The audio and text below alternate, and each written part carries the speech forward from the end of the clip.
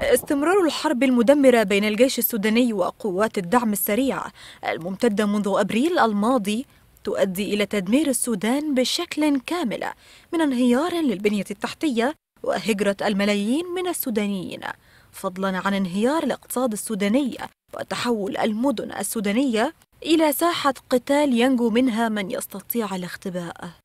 وسط الأزمة الطاحنة تتصاعد أصوات بعض الساسة السودانيين لتسليح الشعب أو ما وصف بالمقاومة الشعبية مؤكدة أنه الحل الوحيد لمواجهة الدعم السريع ومشددة في الوقت نفسه على أنه سيتم وفقا لمعايير محددة حيث أن تسليح المواطنين بغير معايير سيؤدي إلى تدمير مفاصل الدولة.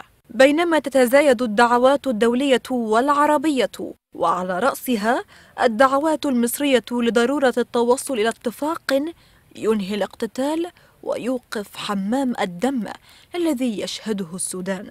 ووفقا للأمم المتحدة فقد أسفرت الحرب الضارية بين الجانبين عن مقتل أكثر من عشرة آلاف سوداني ونزوح حوالي سبعة ملايين شخص داخليا.